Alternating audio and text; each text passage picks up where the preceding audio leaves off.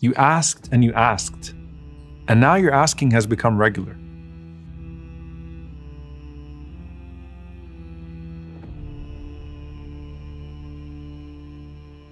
You've learned to talk to Allah throughout the day and throughout the night.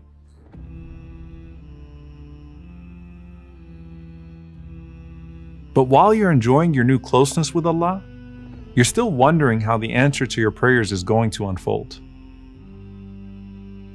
You have crucial decisions ahead career decisions, family decisions, life decisions, and you and everyone you love is praying for you to get it right. Imam an-Nawawi rahimahullah said, no person ever regrets istishara, which is to seek consultation from righteous people, and istikhara, which is a prayer for guidance from your generous Lord. And with big moments ahead, and your du'as for the means to all fall into place, you now await the results of your prayer.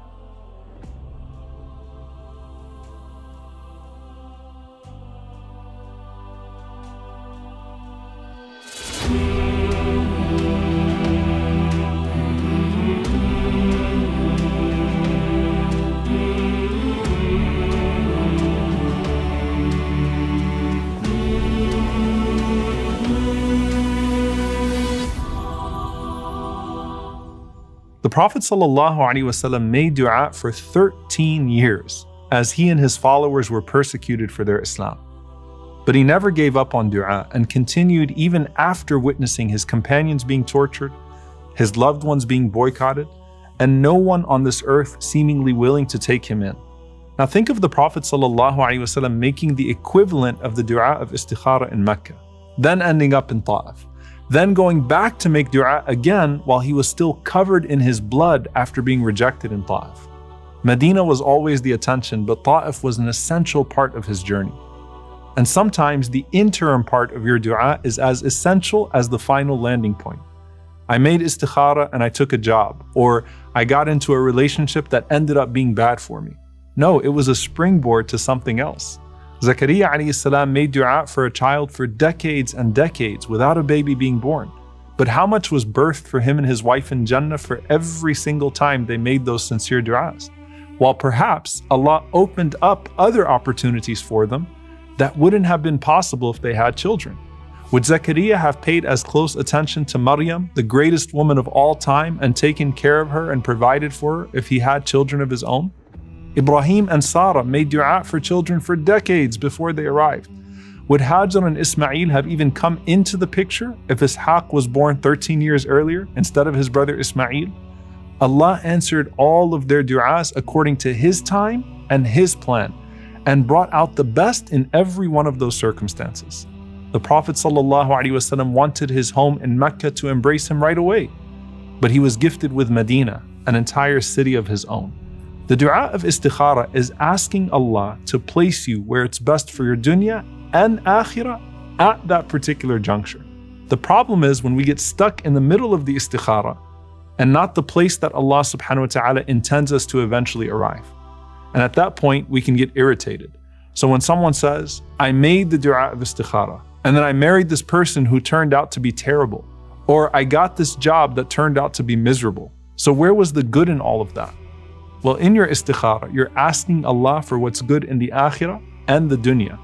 And sometimes those things are going to be in conflict at the particular time that you're asking. And sometimes the same istikhara is going to give you different results based upon where you're at in your journey. Allah subhanahu wa ta'ala maybe wanted you to grow in your character and raise your rank the first time that you made the istikhara. How? By depriving you of what you were asking for in this life but giving you something better in the hereafter. But then the second time comes around and you make the same istikhara.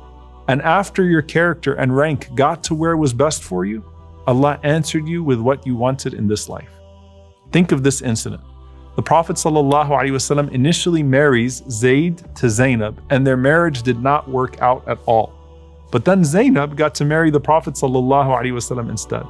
And Zayd had his name revealed in the Quran that we still recite today. So look where they ended up. And I think they both say that the end result was totally worth the experience. If you could see the wisdom of the process before the final product, you'd not only be more understanding, but also more grateful. As Ibn al-Qayyim rahimahullah says, if the veils were lifted and you could see behind the scenes what Allah does out of kindness for you, your heart would melt out of love for Him. But too many of us have what He calls deformed tawakkul, where you demand not only the ending that you want, but also the means that you want to get there. Instead, pay closer attention. How many times have you walked past a version of fate that you didn't know you could have lived? How many examples has Allah put in your life of people that seem identical to you, but are placed upon divergent paths? That could have been you. And had it been you, it would have been better for you. Because whatever state leads your heart back to Allah is the best one for you at any given time.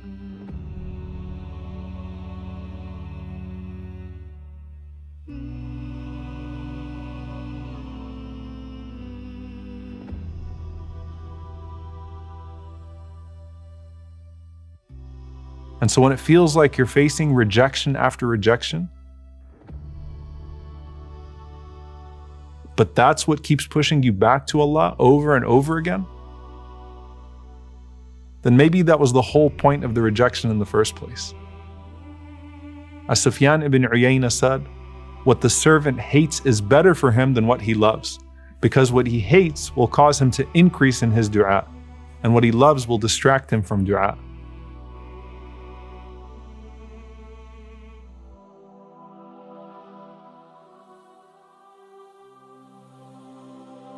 And as the time passes and the need becomes more urgent, your prayers become more urgent as well.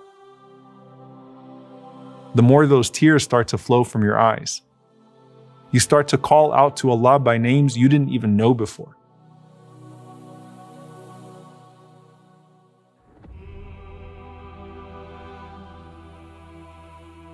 You connect with Allah on a higher level than ever. Then you realize that the delay along the way was actually the greatest gift. لا يكن تأخر أمد العطاء مع الإلحاح في الدعاء موجبا ليأسك فهو ضمن لك الإجابة فيما يختاره لك لا فيما تختاره لنفسك وفي الوقت الذي يريده لا في الوقت الذي تريده If in spite of intense supplication, there's a delay in the timing of the gift, let that not be the cause for your despair. For he has guaranteed you a response in what he chooses for you, not in what you choose for yourself, and at the time he wills, not the time you desire. And the tranquility that comes when a person finally decides to let go of the outcome they so desperately want is a feeling beyond words. a humble submission to Allah. And it may even be that Allah will not give you what you think you need until you merely want it. Sometimes He breaks your dependence on it, then He gives it to you. And sometimes in forms and from places you would have never imagined. ومن يتق الله يجعل له مخرجا ويرزقه من حيث لا يحتسب. Whoever has taqwa of Allah, He makes a way out for him and provides him from places he would have never expected.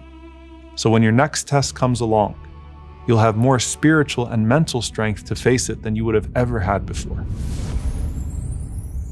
قل لن يصيبنا إلا ما كتب الله لنا هو مولانا وعلى الله فليتوكل يتوكل المؤمنون.